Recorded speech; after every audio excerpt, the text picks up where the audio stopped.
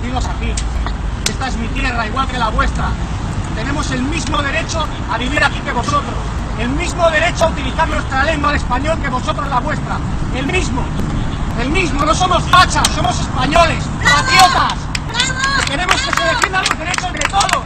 Y no solo de unos pocos. De todos. Que todos vivamos en paz. Porque lo que algunos quieren es que haya guerra civil aquí. Es lo que está provocando el Puigdemont y el Junqueras, que era en guerra.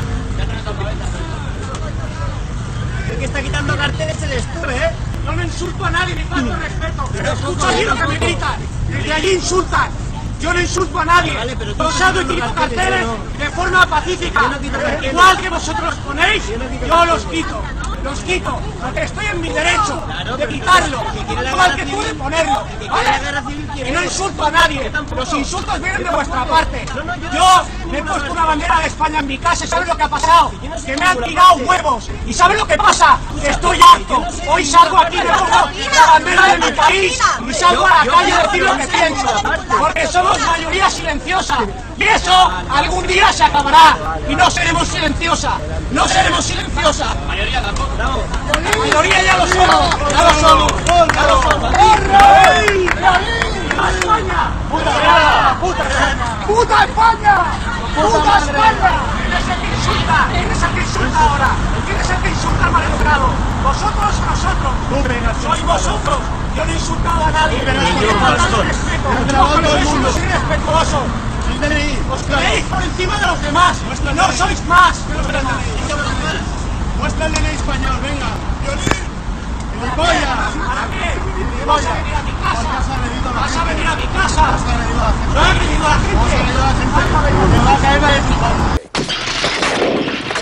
En la actualidad, la euforia y el regionalismo de Cataluña está llegando a un cenit como nunca en la historia. Incluso de mayor envergadura que cuando en los tiempos del País Vasco, la independencia del País Vasco. Claro, esto que está sucediendo está trayendo dolor de cabeza al gobierno español, es lógico. Es una lucha contra las masas. Una lucha en la cual ya poco o nada tiene que hacer la policía o la Legión Española. Porque esto desembocaría a mayor envergadura a traer a las Naciones Unidas a España y habría muertes. En el momento que haya muertes, ya empieza la guerra civil de nuevo. En resumidas cuentas, problemas sin salida. No hay solución. Porque una vez en su puesto que se dé la independencia al Cataluña, le seguirá el País Vasco. Y será la misma situación. País Vasco ha sido terrible esas décadas de matanzas, de asesinatos de la ETA. Por cierto, la ETA fundada por la Iglesia Católica. Ahora la Iglesia Católica está alentando a los catalanes a rebelarse contra el gobierno. Se ponen siempre con dos barajas de mediadores, siempre, siempre. Han estado y siguen estando al lado del dictador Franco y la dictadura y la derecha, pero cuando huelen que puede haber una independencia, se ponen a las dos partes para llegar a ser también a favor de los catalanes, a favor de los vascos, ya diga, la ETA se fundó la iglesia, como tiempo, como Pinochet, como Franco le ayudó a la iglesia, como Hitler le ayudó a la iglesia, a todos los dictadores más criminales del mundo, ayuda a la iglesia católica, recibiendo grandes sumas de dinero, miles de millones. La mitad del oro de los judíos robado a los judíos está en el Vaticano todavía. Claro, es un problema grande, porque hay cosas que la gente en sus manifestaciones, en sus buenos deseos, no pueden pensar. El analista geopolítico vinculado a la inteligencia soviética, Daniel Stulin, lo decía alto y claro. L'organització del referèndum, com es va votar, com es van protegir les urnes Sí. I com el procés es tira endavant, Sí. ha de tenir un suport, hi ha d'haver gent al darrere que estigui assessorant, ajudant a la Generalitat i sobretot que hi hagi un pla per quan Catalunya sigui independent, algú que ens aculli i ens doni suport. ustedes deberían haber dado cuenta que todo lo que estaba pasando y las cosas que habéis hecho en cuanto a la fuerza bruta, el asalto contra la gente que, que solo querías votar. Esto es, es una jugada maestra hecha a medida para los intereses de, de los, eh, ¿cómo se llama?, separatistas, como él les llamó, ¿no?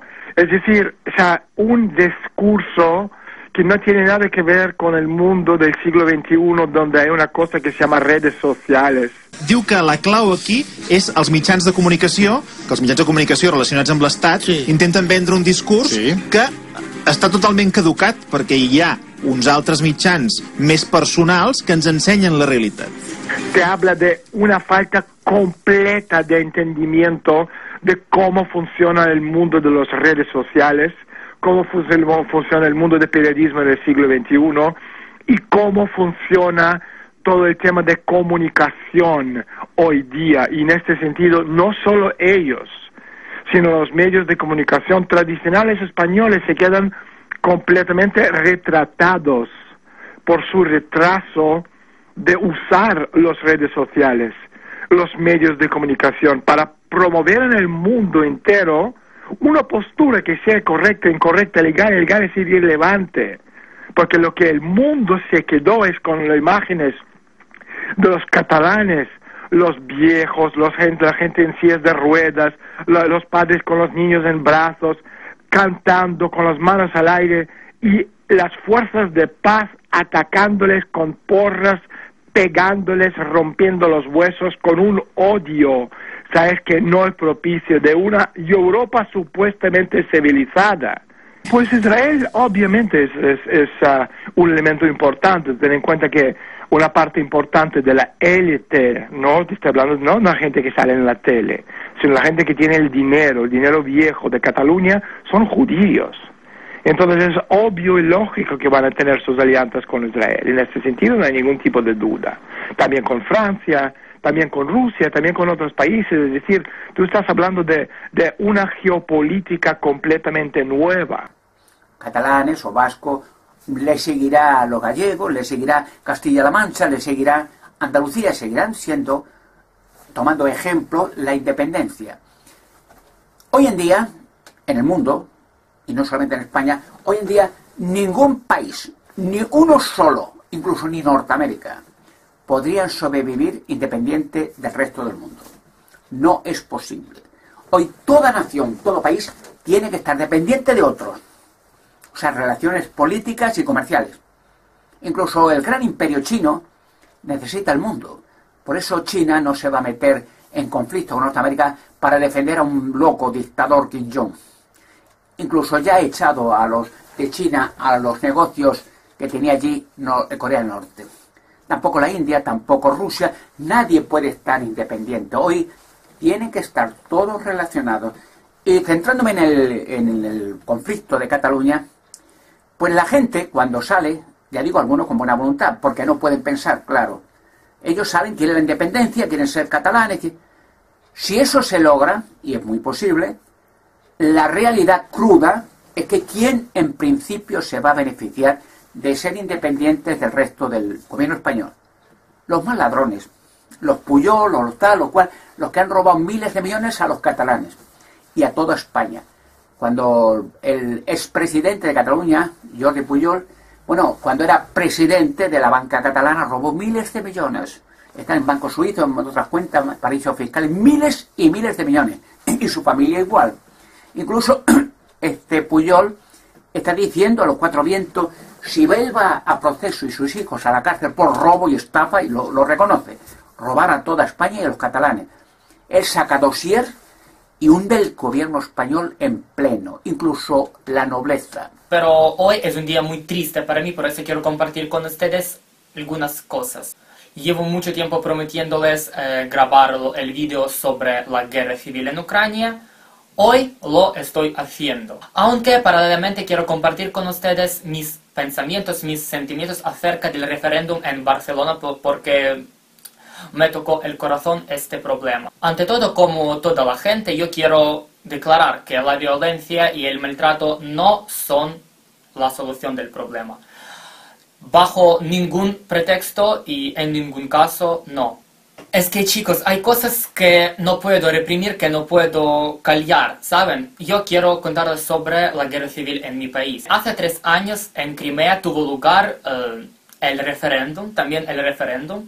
Votó muchísima gente y al fin y al cabo nos quedamos sin Crimea. Hoy en día eh, la República Autónoma de Crimea está separada de Ucrania y como si formara parte de Rusia. Luego estallaron muchísimos acontecimientos muy malos que, no sé, nos llevaron a consecuencias muy tristes. Y aparte de eso, quiero declarar que hoy en día, también hoy en día, Crimea no se considera, eh, es decir, no se reconoce por nadie como parte de Rusia. Por eso, los vecinos de esta parte tienen muchísimos problemas eh, causados por ellos mismos.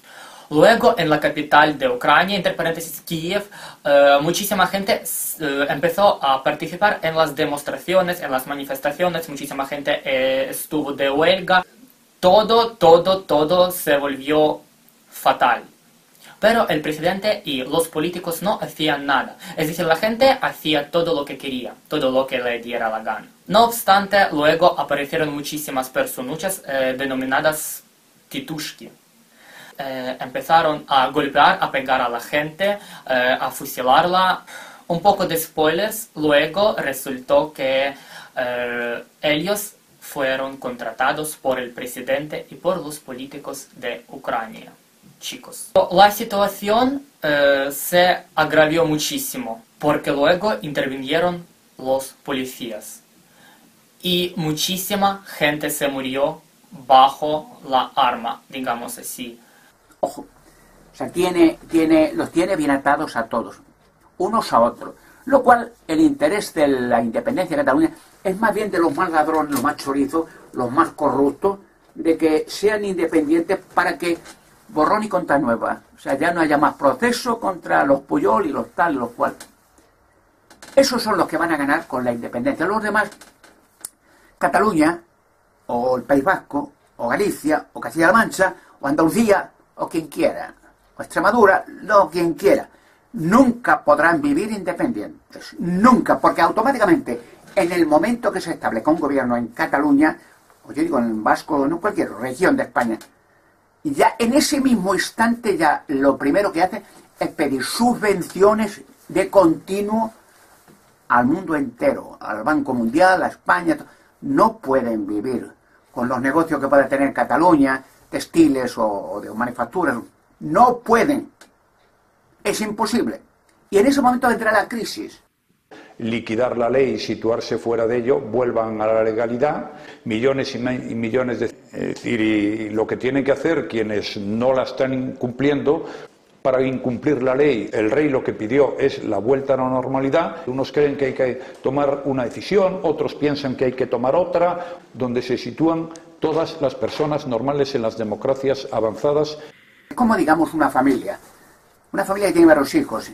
Y los hijos, mientras están con los padres, pues han formado una familia, un hogar, una casa, un trabajo del padre, unos ahorros.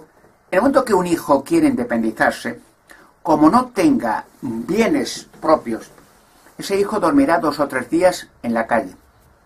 Al poco tiempo, en comedores de caridad. Al poco tiempo, volverá a llamar a su familia muy rápidamente porque se muere de hambre, de frío o otros problemas porque se meterá en, eh, compañías callejeras, la droga. Es en pequeña escala lo que podría pasar con un país, Cataluña. Cambiamos el mapa y ponemos de ejemplo un pueblo pequeño donde el alcalde es el primo de Puigdemont, primo segundo. Se decide que en la plaza del pueblo van a poner una estatua de una tortuga gigante. ¿A ti te parece una mierda que pongan una tortuga en la plaza de tu pueblo y se lo dices al alcalde, que es el primo de Puigdemont? El primo de Puigdemont es muy democrático y dice, no, eh, antes de poner la tortuga, vamos a votar todos, vamos a hacer un referéndum. El día de votar, tú te acercas a la urna democrática y te dice el primo de Puigdemont, no, tú no puedes votar. Solo pueden votar las casas que están en la plaza. Tú no vives aquí. Tú vives en otro barrio. Tú dirás, oye, ¿cómo que no vivo ahí? Pero vamos a ver, es la plaza de mi pueblo. Al igual que el ejemplo Cataluña es una comunidad de mi país. Y el primo de Puigdemont, depende de lo democrático que sea, pues a lo mejor solo deja votar eh, a las casas que están cerca de la tortuga de la plaza, incluso no a todas. Por lo tanto, si estás de acuerdo con que en el referéndum solo voten los catalanes, también estás de acuerdo con el primo de Puigdemont diciendo que solo pueden votar los vecinos que vivan en la plaza. Con sentido común ya sí que tendrías que finalizar el vídeo y dirías, es cierto. En poco tiempo, al mismo día, el mismo instante, se confirma la independencia, un grito de, de euforia, pero luego llega la cruda realidad, la industria, el dinero, la crisis, el cierre de los bancos. Y quien se va a beneficiar son los mismos ladrones que se han beneficiado durante toda la historia de Cataluña, de, de- de otros países, del, del gobierno español, de corruptos, son los que se benefician de las independencias. Y la población empezará hasta aquí de deudas y de hipotecas y ya no hay más perdón.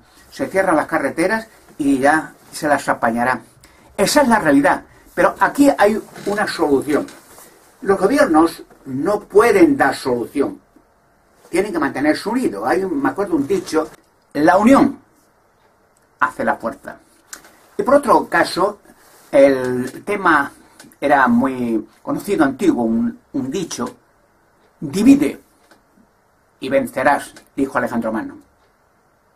Divide y vencerás. La unión hace la fuerza. Lo cual el deseo de la, de la población, la independencia, Cataluña, el idioma catalán, muy bien, lo tienen, idioma catalán, Cataluña, viven en su país, pero en el momento que un país se ha formado durante siglos mediante la unión de España, se independiza, olvídense de sobrevivir. Tiene que vivir de caridad, pidiendo, pidiendo, pidiendo, pidiendo. Y nadie le va a ayudar.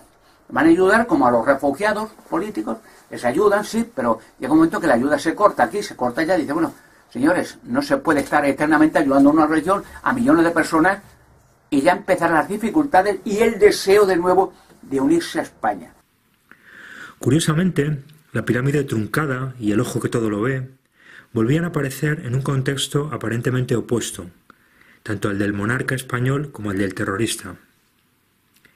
Se trataba del vídeo publicitario que la CUP elaboraba para apoyar el sí en el referéndum de independencia, y en él encontrábamos, como hemos ido viendo, alusiones muy evidentes a esta pirámide truncada y al ojo que todo lo ve. Todo esto parecía confirmar nuestras sospechas. El conflicto catalán es un teatro. En resumidas cuentas, esto es la realidad, cruda, fría. El hecho de que también hay un trasfondo en todo eso. Por ejemplo, el rey de España, don Felipe VI, está preocupado porque ve con horror que su reinado se acaba también.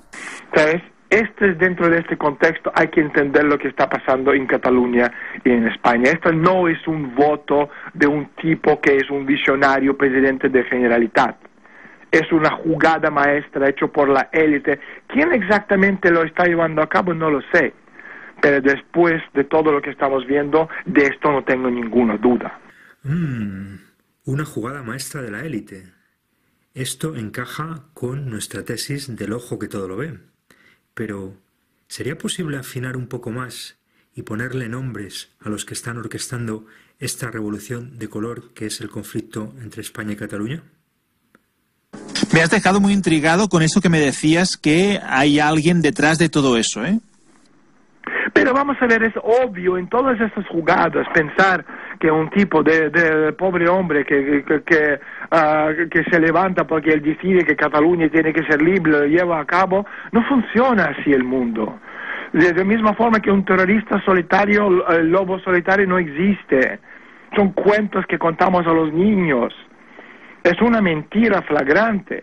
No existe, necesitas organización, necesitas dinero, necesitas protección, necesitas comida, necesitas el sistema de apoyo para poder esconderte después, antes, durante. Es imposible que una cosa así podría llevarse a cabo por un tipo en un asesinato o un tipo en el nivel político donde quiere separarse de un país como España y unirse a un continente como es Europa. ¿Quién puede ser? ¿Dó- ¿Dónde tenemos que mirar, Daniel? ¿Dónde tenemos que mirar?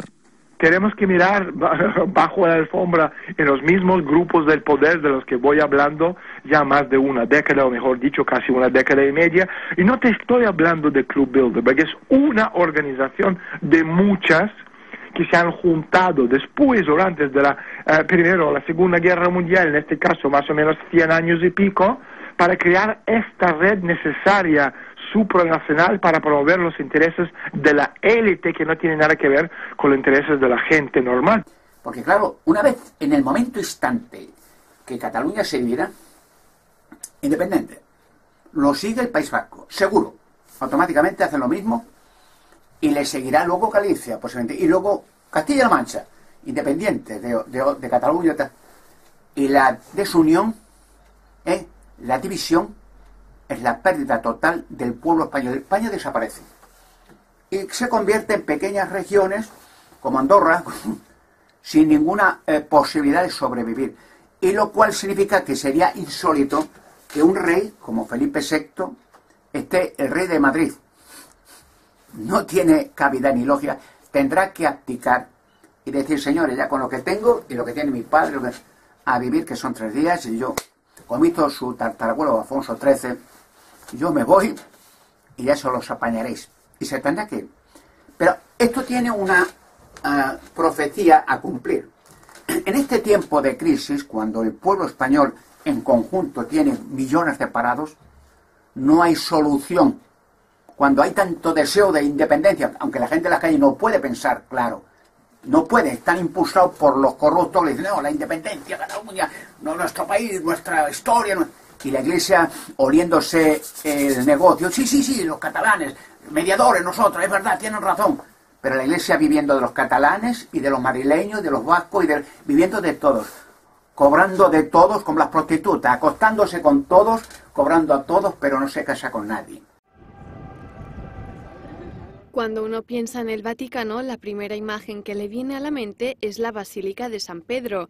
Lo que muchos no saben es que a escasos metros de la basílica se encuentra Castel Sant'Angelo, una fortaleza que está conectada con el Vaticano por un muro conocido como Paseto de Borgo. Este pasillo servía como salida de emergencia para los papas. Por eso se llama la Gran Ramera, que también va a tener su ajuste de cuentas pronto. Llega el gran monarca, en mi persona, lo, lo dicen las profecías, pero llega en un momento actual cuando hay crisis por todos sitios, cuando hay inseguridad económica, inseguridad eh, política, cuando hay corrupción, ya dice Puyol, si, eh, si yo voy a la cárcel y me eh, caen mi dossier y hundo el gobierno español y, y, se revuelven toda España contra el gobierno y lo deshacen. Hay miedo, terror, unos de otros, porque ellos son como los perros, los perros ladran siempre, unos a otros, la jauría, pero no se muerden. Ladran, como Kim Jong de Corea Norte, ladra, ladra, amenaza a todo el mundo. Pero no tiene bomba de hidrógeno, ni va a lanzar ninguna. Solo ladra como un perro asustando porque tiene miedo. El gran monarca en mi persona va a hacer grandes proezas, lo dicen las profecías. Voy a enriquecer España entera. Y nuevamente España, como cualquier otro país, necesita consolidarse. La unión, hacia afuera, pero una unión con un futuro, con un por propósito. Claro, no se puede eh, tener una unión con países, provincias divididas, con amenazas, con, con terrorismo, con, con, inseguridad económica. Aquí vemos cómo está interviniendo Assange en la crisis catalana. Evidentemente, el medio Twitter, pensado por los ingenieros sociales de Tavistock para manipular a las masas, contribuye a ello. Y Assange parece saber muy bien cuál es su trabajo con disyuntivas tan manipuladoras. Catalanes, ¿qué preferís? ¿Ser independientes o librar una guerra civil? Esta frase, por sí sola, ya nos sugiere que Assange es uno de estos organizadores, porque está inculcando en las mentes de los catalanes una lógica sospechosamente simplista en la que el independentismo es algo tan sencillo como una decisión aparentemente contraria a la de una guerra civil, cuando es todo lo contrario. Optar por la independencia, de manera tan inocente, supone un conflicto frontal con el Estado español y por lo tanto abre la puerta a un conflicto civil. Y así, en otros tweets, esto es, en otros píos píos, en otros tweets de pájaros azules, con el trasfondo del piolín, del que ya hemos hablado, Assange anima descaradamente a los catalanes a un conflicto con el Estado. Con parados, millones parados, con corrupción política, no se puede unir nadie. No hay liderazgo, no hay nada, no hay futuro. Solamente corrupción e independencia, locura colectiva. El gran monarca, yo, como dicen las profecías, tengo en mi mano, con la ayuda de Dios, grandes descubrimientos y grandes futuros para España. No soy político, o sea, no soy un líder político que voy a hacer un, partido, podía haberlo hecho hace tiempo y podía haber sido un liderazgo bastante competente, pero, el liderazgo es diferente, porque dicen las profecías incluso, puede asustarse mucha gente, que el gran monarca, y apareceré, será monarca europeo, porque mi propósito también es desbaratar las monarquías todas, y quedaré único. Claro, eso asusta, porque los, monarcas, los políticos, los banqueros, todos miran su sesión espiritista, le consultan diariamente a los demonios. Y los demonios, como le dijeron a, a Yolanda y Cangas de Toledo, este, Alberto Canosa, va a entrar en la cueva de este os desbarata todo. Tener cuidado con él. Por eso mi entrada está prohibida en los medios de comunicación. Como tengo descubrimientos como la cueva de Hércules, la mesa de Salomón, el robot de la cueva, el arca de la alianza en España, la nave de Salomón en España con toneladas de oro, el cuerpo de Salomón perfectamente conservado en España, el cuerpo de Noé y su familia, cuerpos de Saurio, cuerpos de gigantes entre rocas, cuerpos de los padres gigantes. Esos descubrimientos engrandecen al país como nunca en la historia. Como todo está dividido en toda España, en diferentes regiones, pues claro, hay un problema gigantesco que sería difícil solventar, tener cinco o seis visados para recorrer estos monumentos extraordinarios que sacaría adelante aparte de la nave Salomón, con toneladas de oro para empezar un país nuevo, ya la estructura está tan preparada, el presidente Rajoy la está haciendo, con, un, con una garantía de que la economía sube como la espuma con el gran monarca, con la ayuda de Dios y con un propósito, revelar los enigmas y misterios. Claro, ahí todo esto vuelve a ser un trasfondo, porque como dije en un principio, ¿qué impide, eh, qué es el, el deseo real de los de, las candilejas, de que se haga independiente Cataluña. Los Puyol y mucha gente como ellos, ladrones natos, han robado toda Cataluña y a toda España. Y los fiscales están a por él, y el gobierno está a por él. Y él dice, no, no, la independencia, si estamos independientes, borrón y cuenta nueva, ya, ya, los fiscales y todo eso, somos una nación y yo, y me le vuelvan a hacer presidente de Cataluña, a Puyol y a toda su familia y a, todos los ladrones de Cataluña. Esa es la pura verdad, la eh, fría y, y claro, aunque no lo quiera España, aunque no lo quiera Cataluña, aunque no lo quiera nadie, yo seré gran monarca. Seguro. Y el gran monarca no es para engrandecer el país, unir al país, como nunca en la historia. Ni el tiempo del franquismo, unir al país. La unión hace la fuerza. Y el orgullo, como dice la profecía del gran monarca, de ser español, dice, dice las profecías, revelará todos los enigmas y misterios. Harán de España. Todos los países, Alemania, Francia, Italia, Inglaterra, Portugal, todos querrán ser español, querrán tener un pasaporte español. En vez de dividir, unir Europa. Por eso dicen las profecías de la monarca que el gran monarca será no solamente monarca de España, monarca de Europa. Claro, eh, don Felipe VI va a oticar y habrá cosas más graves después de eso. Y claro, no hay, como hizo su tatarabuelo Alfonso XIII cuando vino la dictadura de Franco, la guerra civil, él dijo, no, no, yo no quiero problemas. España ya se veía en peligro, ya con Franco, las revueltas, lo mismo que ahora. Yo me voy y aire, ya se apañaré, se fue a Inglaterra y luego está. Ahora van a hacer lo mismo. Pero claro, están dando pie y paso a la profecía de llegada del gran monarca. Y todo español, sea catalán, vasco, sea andaluz, sea, querrá ser español, no querrá ser independiente. La independencia es un deseo vano, es una surdez, es un sueño, ser catalán, ser vasco, ser humano y vivir en un país donde la familia estén unidas, el trabajo, la justicia, la sociedad, la libertad y el orgullo de tener una lengua reconocida, español, y de ser de un país que ha tenido mucha historia. No solamente por un deseo patriótico, ese no es el plan, porque el gran monarca, con la ayuda de Dios, y tiene un poco, revelar enigmas y misterios, es derrumbar las sociedades satánicas, empezando por Babilonia la Grande, los satanistas, la logia, los, criminales de niños, ese, y revelar los enigmas del cementerio, los gigantes entre rocas, los cuerpos de los padres, demonios, los cuerpos de las madres, los cuerpos de Saurio, la arca de la alianza para que haga su trabajo y la mesa de Salomón para que se vean los crímenes de la muerte. Ese es el plan del gran monarca. Pero para ello hay que empezar bien, empezar con un milagro en España, único en la historia, como dice la profecía del gran monarca, del mundo, que aparece un gran monarca, algo sobrenatural, dicho por muchos profetas, que hará grande y poderosa España como nunca en la historia ha sido ni será.